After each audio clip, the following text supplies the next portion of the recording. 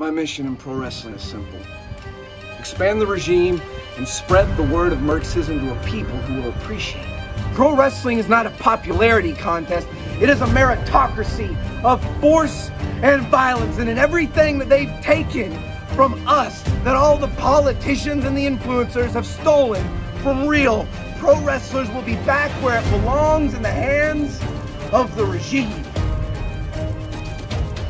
I just defended a tried and true Marxist and Rick Bison, the next limitless wrestling champion.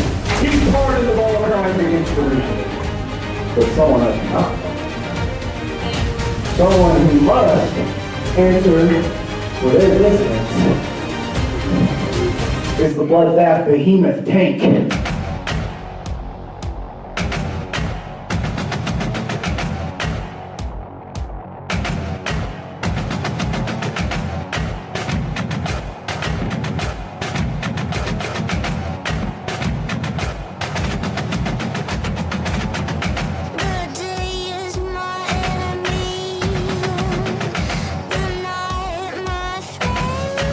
What I do on so many before me clips. I'm not gonna run from it.